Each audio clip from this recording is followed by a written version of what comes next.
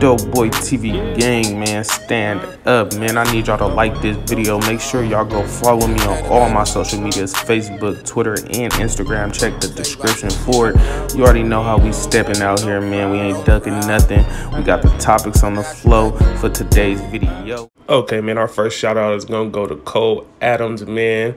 This is a good subscriber, man. Y'all make sure y'all go show him some love. Our second one is gonna go to Teresa Patton.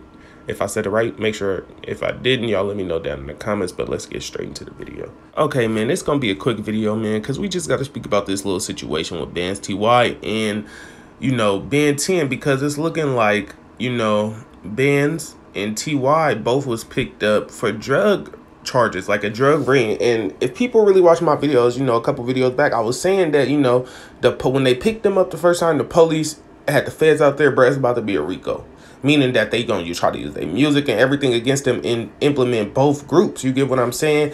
And it's not looking too good because a lot of people are wondering, asking me for updates on Ben um, Bandz Ty getting out and Ben 10 and it's looking like you know both of them is about to be sitting down for a little second i'm not saying too long but they not just getting out bonding out as fast as everybody else so i'm gonna still keep y'all updated but y'all can read you know, it's saying basically that they was arrested for drug charges, man. They gonna try to keep them as long as possible, man. They gonna try to stretch whatever they can to keep them in there, you know, because clearly, if nobody knows, somebody telling. The police already came out and said somebody was telling. So that means the person that's telling is out on the streets while they keeping these two people in there until they get enough evidence to take everybody down. You get what I'm saying? Everybody down. I'm pretty sure they monitoring their calls in jail and things of that nature to see who they're gonna talk to, and they probably watching the people they talk to and things of that nature. But hopefully, both of these men can be free because I don't wish jail on no man. Hopefully, both of them get out, continue. Um, Bandz Ty continue his music career because he was blowing up, which makes me so mad, and it just reminds me of what TBG always um my boy TBG Yoshi said, you know, because they good friends, he was like, man, every time TBG or somebody in TBG start blowing up, you know, they they fall off or you know they something happen and just just shows because I felt like bands. T Bandz Ty was gonna be the next one to rise up after Yoshi because it's like Fredo, Yoshi.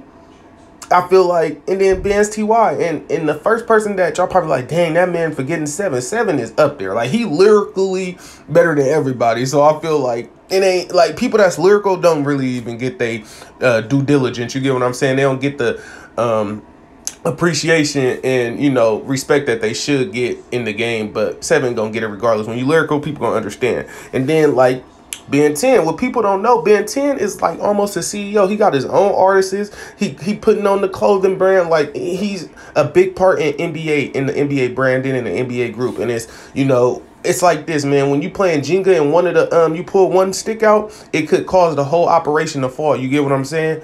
So it's like you take Ben 10 out the equation, you never know. Ben Ben 10 might have been the glue for NBA Youngboy to run consistently and stay good because now everything going up. You see what's happening and everything. So y'all let me know how y'all feel about this whole situation, man. Hopefully these mans can get out of jail. Y'all let me know how y'all feel about this video. It's your boy Dohboy TV. If you're rocking with me, subscribe. If not, you can kick rocks.